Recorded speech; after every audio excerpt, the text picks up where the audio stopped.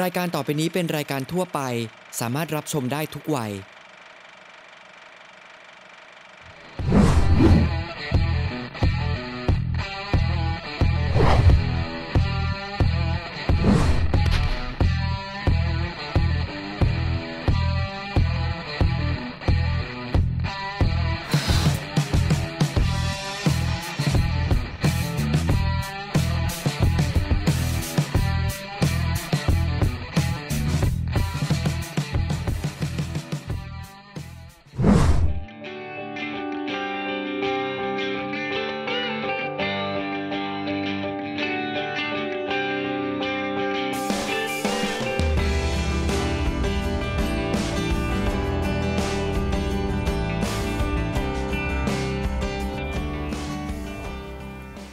วัสดีครับคุณผู้ชมครับพบกับรายการธรรมชาติมหานครอีกครั้งหนึ่งนะครับวันนี้ต้องพาคุณผู้ชมมาที่เขาคอจังหวัดเพชรบูรณ์นะครับขึ้นมาอยู่บริเวณจุดชมวิวเขาตะเคียนโงะครับมาเขาคอทั้งทีแบบนี้เราต้องตื่นแต่เช้านะครับ ตื่นมาเพื่อที่จะ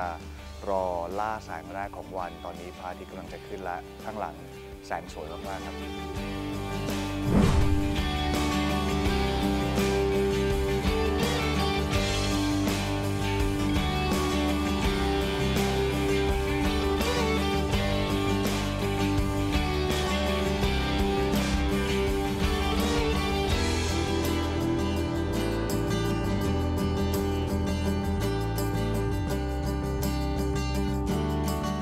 ระอาทิตย์ขึ้นแล้วนะครับ ได้เวลาเดินทางกันต่อแล้วครับเราจะพาคุณผู้ชมนะครับไปสัมผัสกับธรรมชาติ ในรูปแบบการท่องเที่ยวเชิงเกษตร เราจะเดินทางไปที่บ้านหนองแม่นา ที่นี่นะครับเขามีการอนุรักษ์ป่าไม้ได้อย่างสมบูรณ์มาก ๆ เลยครับ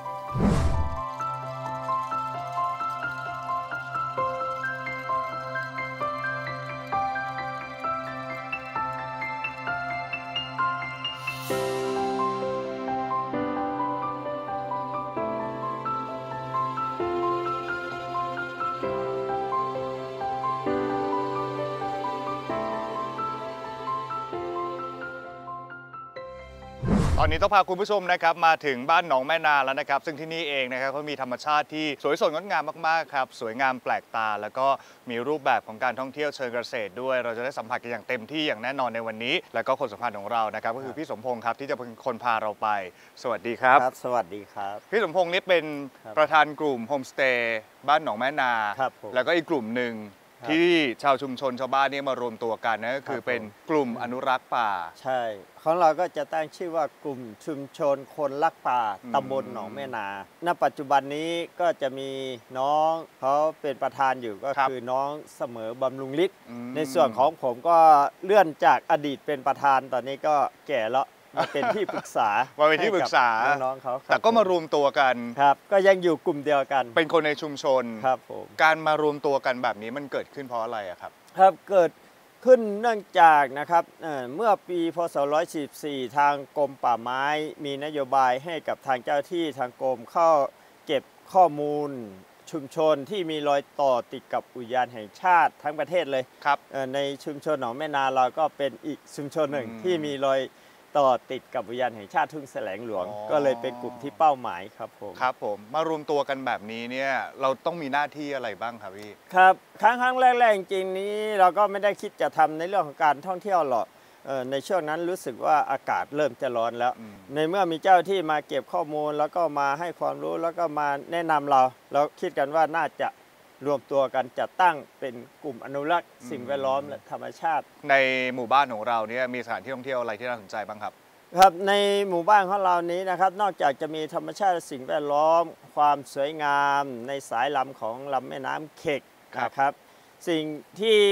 น่าสนใจที่สุดก็คือธรรมชาติเอ่อความสดแล้วก็งดงามของสายน้ำแล้วก็ป่าไม้ในระหว่างของอุทยานแห่งชาติทุ่งแสลงหลวง แล้วก็ ชุมชนหนองแม่นาเราเออนอกจากป่าไม้แล้วยังมีสัตว์น้ำที่น่าจะศึกษาก็คือในเรื่องของแมงกะพรุนน้ำจืดอืมอันนี้เป็นครับสิ่งที่น่าสนใจจริงๆแมงกะพรุนน้ำจืดไม่เคยได้ยินมาก่อนเลยนะครับ ปกติถ้าเกิดพูดถึงแมงกะพรุนเนี่ยจะต้องเป็นน้ำทะเลครับน้ำเค็มครับแต่ที่เนี่ยมีแมงกะพรุนด้วยครับผมพอดีเรามาช่วงหน้าหนาวใช่ปกติแมงกะพรุนน้ำจืดเขาจะมา ประมาณช่วงเดือนไหนขอในงปีฮะ ช่วงของเดือนมีนาเมษาของอืมทุกปีนะครับ แล้วก็ซึ่งเป็นแมงกะพรุนน้ำจืดชนิดน้ำไหลเป็นแหล่งที่สองของโลก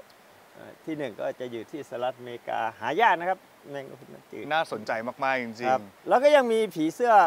หลากหลายสายพันธุ์นะครับ อยากจะให้มาสัมผัสมาๆ เรียกได้ว่าอุดมสมบูรณ์ ครับผม งั้นเดี๋ยวตอนนี้เราไปล่องเรือกันชมธรรมชาติสองฝั่งของแม่น้ำเข็กไปดูวังมัดฉา ไปดูผีเสื้อ ครับผม มีนักท่องเที่ยวเริ่มมากันแล้วด้วยตั้งแต่เช้าครับอย่างนี้เลย ในส่วนของผมนี้ก็จะขออนุญาตก่อน เนื่องจากมีภารกิจก็จะส่งต่อให้กับน้องๆเขารับช่วงต่อไปก็คือน้องเสมอบำรุงฤทธิ์นะครับคซึ่รังบเป็นประธานของกลุ่มชุมชนคนรักป่า ที่จะเป็นไกด์นำเที่ยวให้กับเราในวันนี้ครับผมขอบคุณพี่สมพงษ์มากๆนะครับขอบคุณครัสบวัสดีครับ